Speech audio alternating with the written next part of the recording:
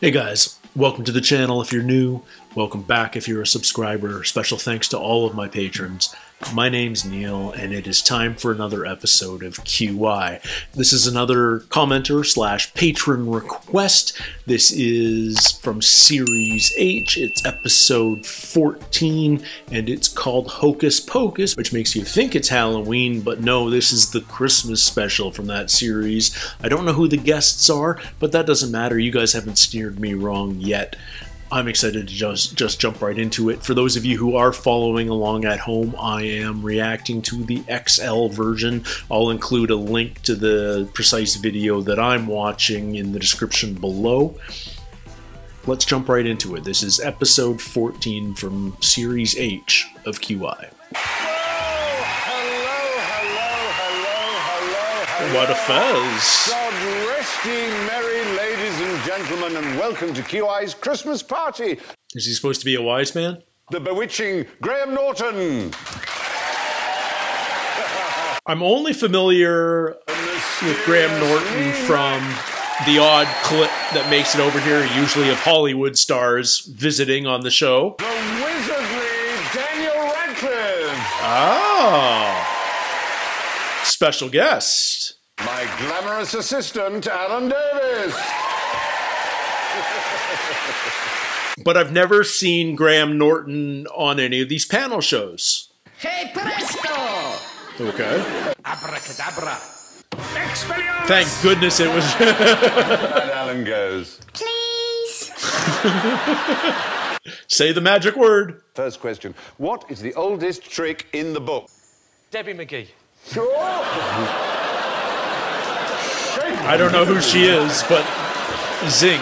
Is it an ancient Greek book? It's even older. Is it Egyptian? Egyptian? Egyptian is the right Okay. I think I might have.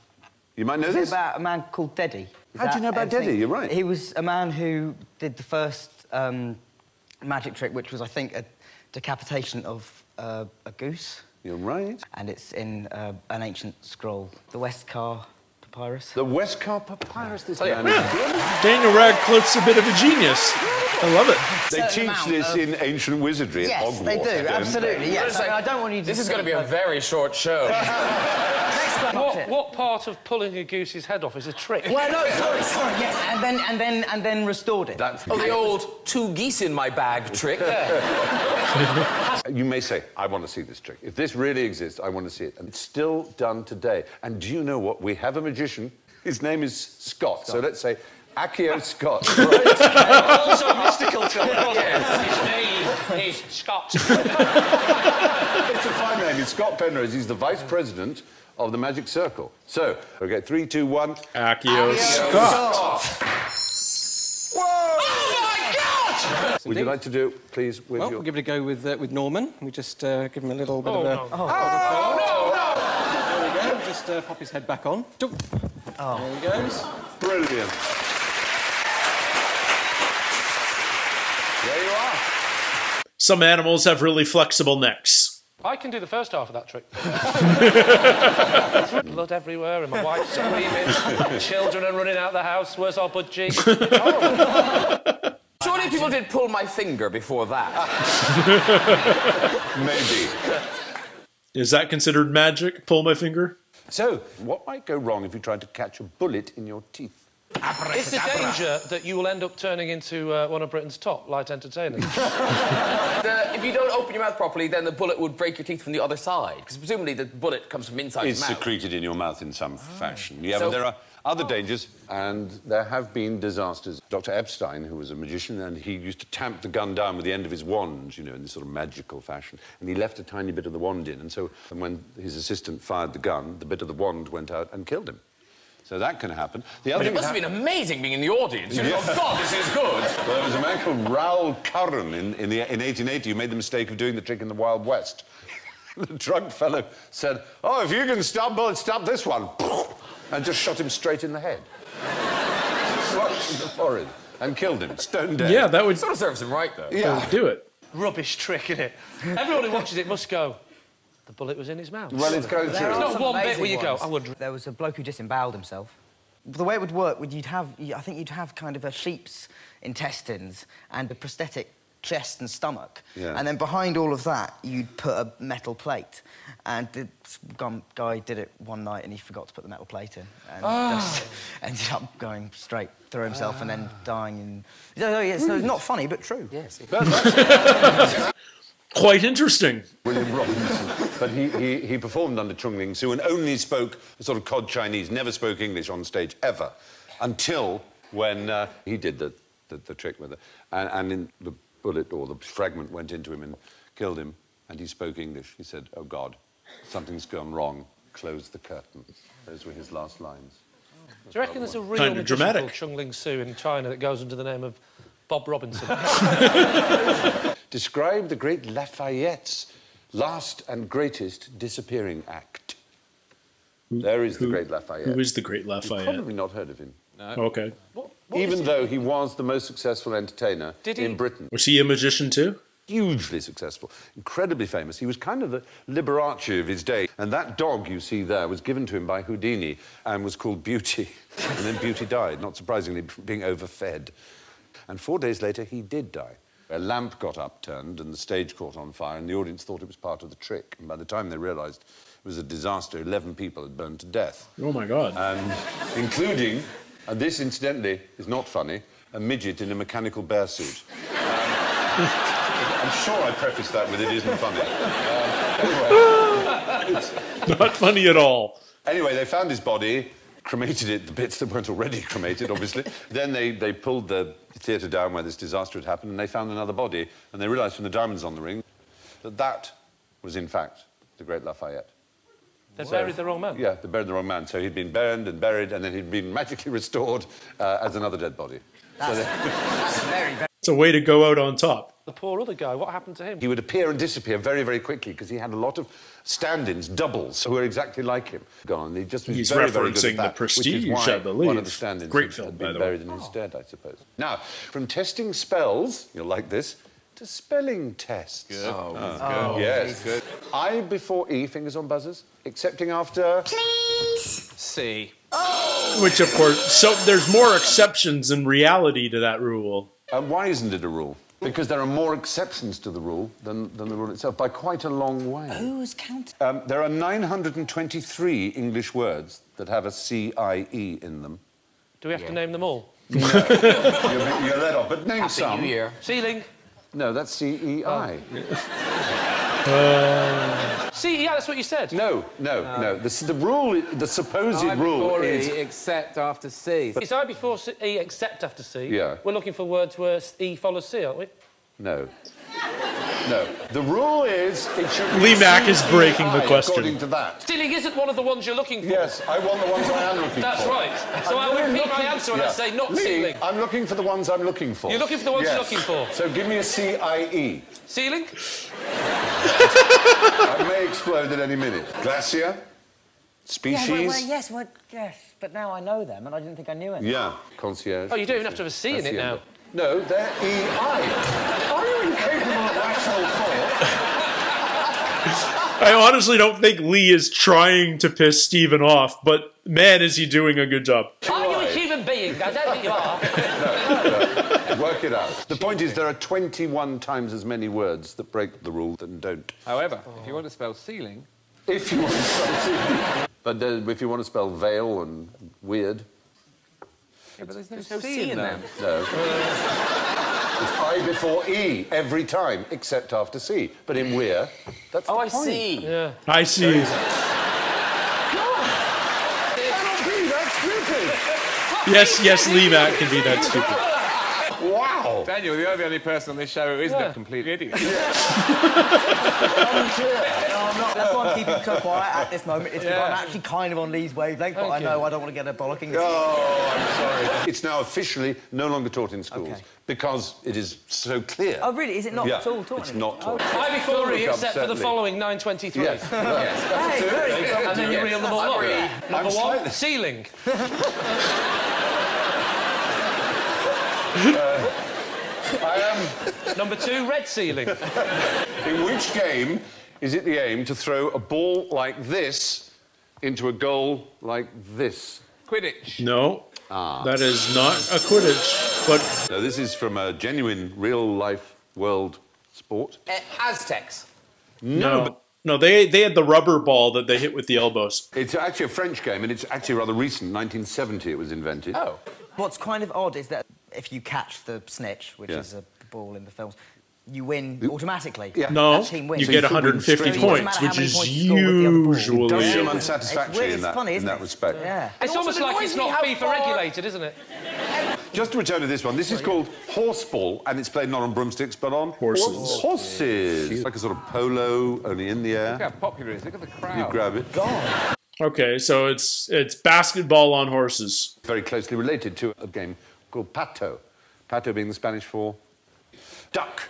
Instead of having a ball, they would have a basket with a live duck in it. Uh, what? But what about Quidditch? Does anybody really play Yes, Quidditch? yes, they Of do. They do.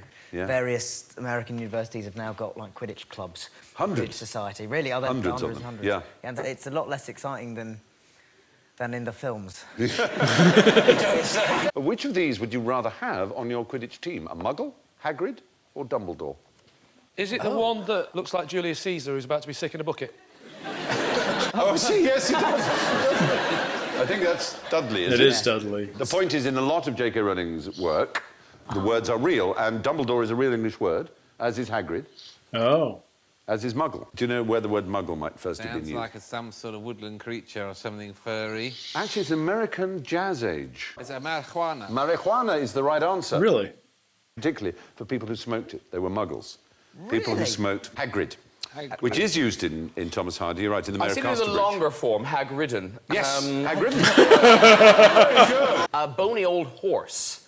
Uh, it's a mare. it's a nightmare. Yes. If you had bad dreams, you were said to be hag-ridden. Oh, that's great, That your it? witches had come to you in the night. You were hag-ridden. That's fantastic. Yeah, to be Hagrid. Is that, a drunk, is that a drunk person not finding the toilet? Well, it's a. See, that's horrible. When people sleep, They'll be feel terrible when they wake up. What's the horse doing? it's, that's the nightmare. He's uh, operating the video. Yeah, this is going up on Pornhub later. So that leaves us with Dumbledore. Think of a rhyming word for Dumble. Jumble. Tumble, rumble, fumble. crumble. Mumble. Not mumble. Mumble. Lovely Ceiling. Crumble. Bumble. Yes. Bumblebee. It's a type Yes. of bee. It is a bumblebee. I've. A door means a humming insect in Old English. So a Dumbledore was a bumblebee. But how did Hogwarts tackle drinking problems?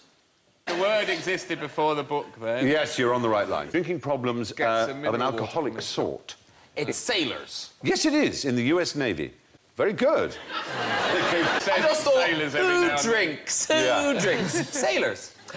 This isn't fair. He's getting questions about Quidditch. He's getting questions about sailors. Submariners. Now, now uh, the torpedoes, right, Mm. used to run on ethyl alcohol. That was their fuel. But on board, they had 180% proof. Well, not 180%. Alcohol, 180 to stop proof is 90%. They had plenty of juices they could add, to, it, and they did. but Delicious then. Yeah, I no. thought- I thought the maximum- That's the point. You wanted to stop it being delicious. So what you do is you add something. They started by adding methanol, known as Pink Lady, which makes you blind. Yeah. And they said, if you drink this, you will go blind. Yeah, so We've all don't. been told things like that. It didn't stop us. Anyway, it didn't work in the Navy, so they added something called croton oil, which came from the spurge plant known as the hogwart. And that made you vomit and gave you diarrhea. All But that, of course, didn't work either. Regular alcohol makes you vomit. And That's a night out, isn't it? I have visions of J.K. Rowling with a bottle of meth. under the Rolling. bed. I made it up, and if anyone's just... Rolling.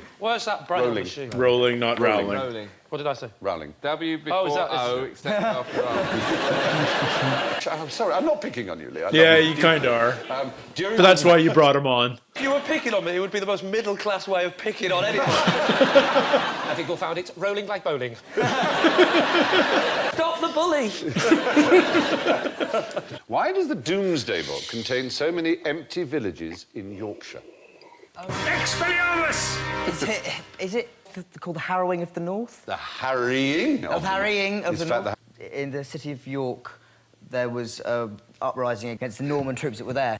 And then basically all the all the people in the all the people in the in the city kind of realised that they were actually vastly outnumbering the York soldiers. and, uh, a decree sent by the king after this uprising happened, and everything was burnt from sort of like a hundred You miles. sort out. of got the salient points. Yes, William the Bastard, as he was known.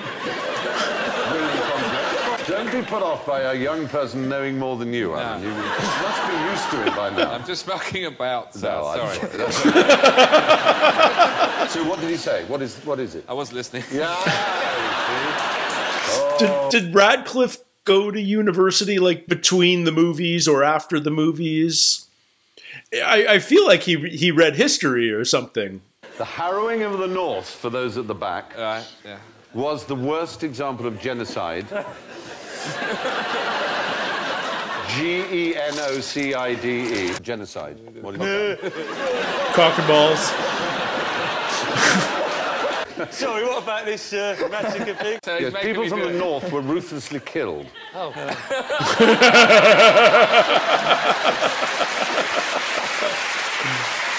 With the war cry of "It's rolling as in bowling!" Anyway, uh, that's harrying, but what about pottering? What creature was the subject of Beatrix Potter's first work? Uh, I bet it's not Peter Rabbit. Yeah, it's not a rabbit. Is the right answer. It Thank is God so... you stopped me. Um, chicken. Her first work was not a children's book. Wasn't it the book that they based the film Boogie Nights on? No, it was a serious work of botanical, as it was then called botanical, it's now a, a mycological study. Oh, What mushrooms. Is- What is mycology? Does that mean anything to you? That's mushrooms. It's fungi. No, it's fungus. Fungus. Oh. She was something of a genuine Why did the scientific... mushroom go to the party? Oh, anyway, it was presented by her uncle to the Linnaeus Society in the 1890s. Why by her uncle? Why not? Because women weren't allowed to present. Because she was a woman. I'm afraid that's the case. And it took them 100 years to apologise for the slight. For the And also, she was a mushroom expert. Who wants to meet her?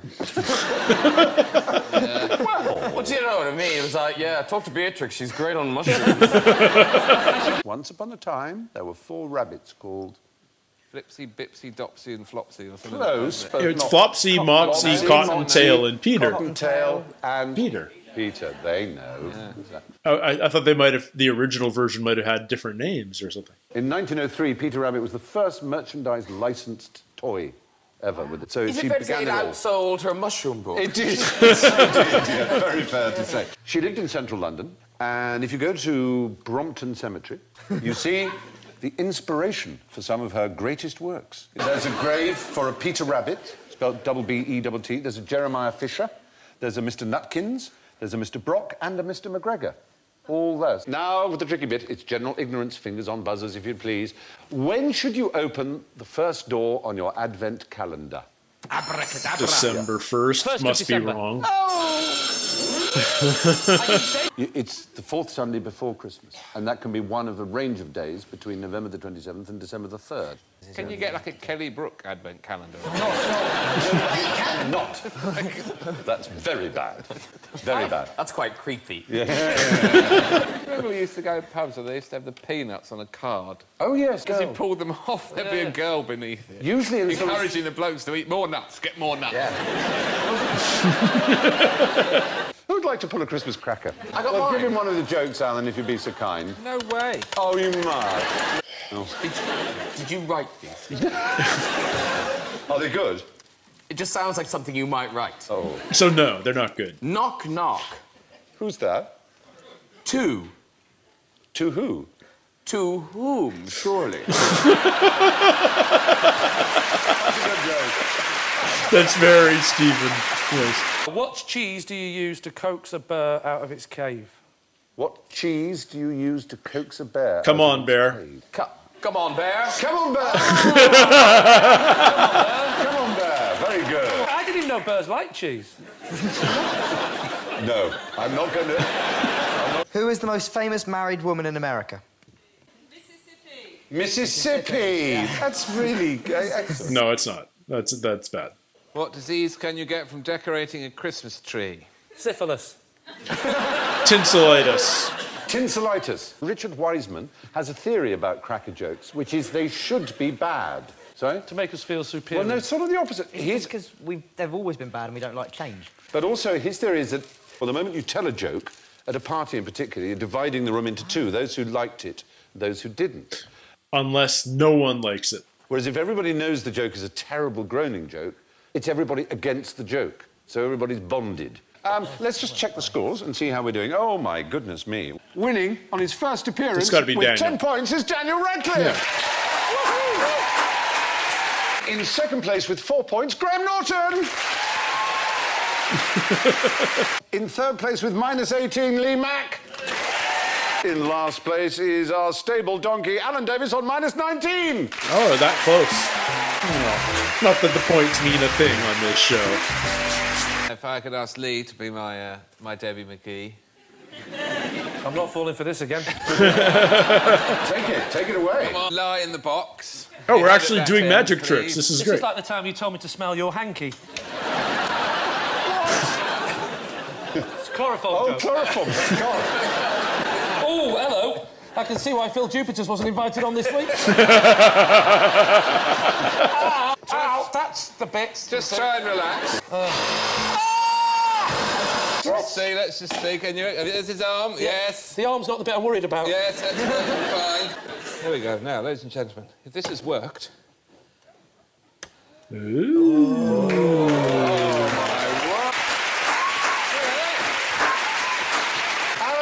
Davies and the glamorous Lee Mack, ladies and gentlemen. Fun, fun with hidden compartments. Can you do something similar? Well, this did seem like a good idea. Oh, it's a So, uh, freaking guillotine. You want to uh, kneel down there. Right. There now. Okay. This feels very wrong, doesn't it?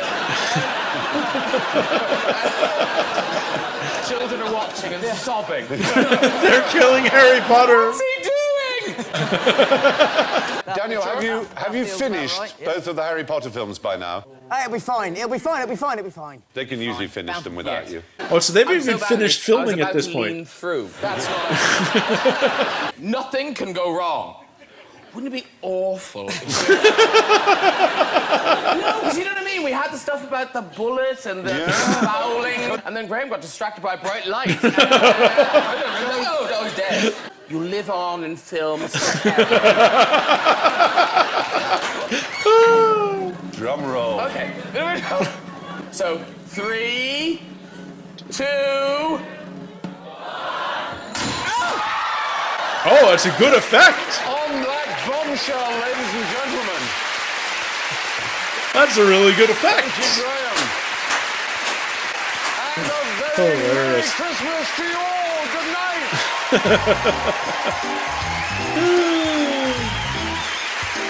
That was fun. That was a lot of fun. Well, I, I, had no idea we were going to get Daniel Radcliffe. That's kind of fun. And not your typical Christmas episode either. This was, you know, let, let's lean right into the the magic and wizard and uh, magic tricks and fake guillotines and sawing bodies in half and all that. That was a lot of fun. And like Daniel's like legitimately knowledgeable about some really interesting stuff here. I I do wonder they don't give them the questions in advance, do they? He's just just a smart kid. I, I shouldn't be surprised. I shouldn't be surprised. He, he certainly seems like it. Why doesn't Graham Norton do more of these? Like I know he's got his own show. I know, like I've seen him from those clips where he's interviewing celebrities, but you know he lets, you know he he he, set he sets up the jokes in in that format a lot more than he does the punchlines. Why doesn't he do more more of the panel shows? Uh, well, I, I guess you know having your own show is busy enough. Anyway, thank you guys for the recommendation. This one was a lot of fun. Lee Mack, like, I honestly think during the the I before E, except after C exchange, he was not trying to be difficult. He just didn't understand the question, or you know, like he couldn't follow the discussion. I legitimately believe that. But but he also is very very good at taking the piss out of hosts. I've seen him do it before, and uh, you know by playing dumb. And he certainly leaned into it on occasion during this episode too. Uh, to- totally entertaining. I'm blanking on where he's from. I know he's from the north. Is he from Newcastle or is he from somewhere else? I don't think he's from that far north. I think he's from Is he from Leeds or something? I don't know. You guys tell me. Um, but I know he's a northerner, and I know he's not. He's certainly not middle class. I, I, I find it very interesting the British definition of working class and middle class versus the North American definition, because here, middle class is is the average working man. It's not the British definition where it's actually quite a posh definition, where where it's uh, associated with higher education and the professions and uh, and all of that. Uh, here, factory workers are middle class, or at least that's the traditional definition here. Now we have a thing called the working poor, much too much, but that that's a global phenomenon. Yes, you call somebody middle class in in North America, you're just calling them average, whereas it's a bit of a a dig at the posh kid if you do it in the UK these little nuances. I'm picking up on them eventually. Anyway, uh, thank you guys. Like I said, thank you for the recommendation. I'd love to hear your thoughts about future episodes that you'd like to see me check out. I will make a point of eventually getting to to as many of them as I possibly can.